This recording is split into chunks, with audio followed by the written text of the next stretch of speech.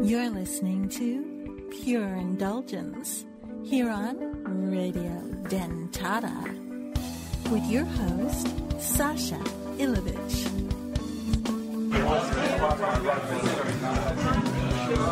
And welcome to an extremely loud edition of Pure Indulgence. I'm your host, Sascha Illyvich, and I'm here today with Max Myers of ACC Holdings, who also produces Don Cervantes cigars. We're at the Occidental Cigar Club in San Francisco. Beautiful weather outside, been a great day. Um, how's your stay been in the States, first of all?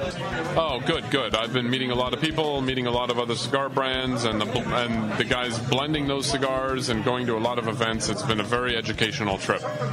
Awesome. So you're with ACC Holdings, which produces a Don Cervantes cigar. And before I ask you about that, I got to tell you honestly, the Masterpiece Platinum is kicking my palate's ass. It's wonderful. I've got I've got coffee, I've got dark cocoa, I've got cinnamon, many many hints of it, but, but they're there.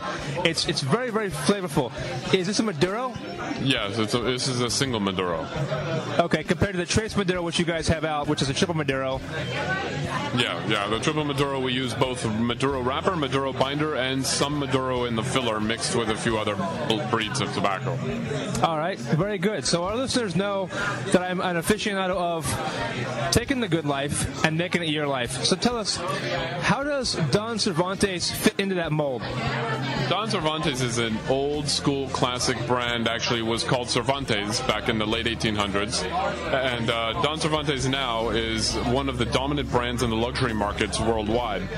In the United States, it hasn't. We haven't sold it yet, and we're just preparing to launch it. From what I've tasted so far, it's an exquisite brand for those who've got a taste palate.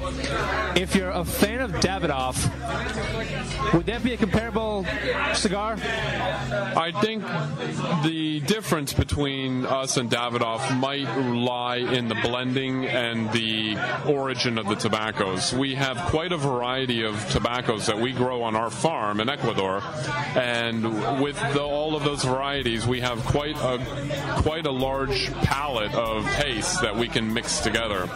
Um, what I do appreciate a lot about Davidoff is their construction quality is fantastic. It's it's superb, and their packaging is very clean and very elegant.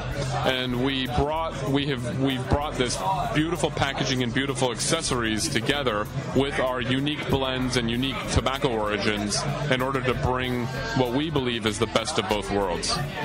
You've definitely got a very unique product line. How did you guys come up with that to begin with? Well, we started years ago distributing cigars, and then we began. After that, we moved into private labeling. When we realized we really needed tight controls due to a lot of um, you know lack of control from from doing the being in the private label business, we started. We invested in a in the farm that is producing Don Cervantes now. We invested in this farm and factory so that we can grow what we want, control what we want, get all the blends the way we want, and never have to worry about you know somebody you know running out of tobacco and things like that that we that we might want to use. And since then, we have been very rigid in our quality standards, and we have we roll of our cigars entubado with triple ring caps. Every I mean the cigars after you burn them down can stand on their own ash, and we have a lot of photos that are emailed from our clients showing that. And the, again, for me, the most important thing is the taste. Aside from just the construction standards that we employ, but the taste is a spe- is a unique combination of very very long fermentation times and a lot of unique tobacco breeds that most people don't have. Um, not just saying they don't have it, but it seems to me that a lot of cigar brands are limited in how many different kind of breeds of tobacco they're able to use, and I think we've been able to overcome that because we grow whatever we want to grow on our own farm. We have about 20 hectares, and we can divide the farm up to grow whatever kind of tobaccos we feel that we're going to need down the road. I've noticed when you were showing me pictures earlier, you've got some very, very beautiful plants, first of all. Second of all, my question to you is when it comes to workers, tell me about an average day for the workers? Well, workers on the farm would, you know, start, of course, in the morning. There's only we only grow three months a year. We rest the soil another for the, the other nine months of the year. So our busiest time would be near, actually around this time of year right now is when we're, you know, we're getting close to harvest and all the tobacco's out on the field, and we have to start cutting from the bottom of the plant all the way up. We have to hang them in the in the drying barns, and we have to move them from the drying barns into the fermentation barns and, and stack them in, in the pilones. And that is a very very labor intensive process that we have a lot of workers on the field during that time. But these kind of workers move around, and so when we're not using them, they they'll leave and they'll go to um, banana plantation somewhere else or a cocoa plantation somewhere else because they're they have the ability to to move around and get jobs wherever they need to. Um, now we trim down our staff at other times in the year when we're simply resting the soil and we're managing fermentation and aging down on the farm. Then we have a lot less people to over to oversee the, the, the farm the farm operations. In the factory, we have about 25 rollers and we have about 10 leaf sorters. So the leaf sorters are the ones who take all of the leaf from the farm and they sort sort it by breed, by cut off of the plant, by you know by year, because not all of it ends up in the factory right away. We we put it into aging aging bales and aging um, crates for years before we use it. So in the fa- in the factory itself is where we do all the leaf sorting. Then we will sort leaf by all the different char- by all the different varieties that we need to blend the cigars coming up for that week.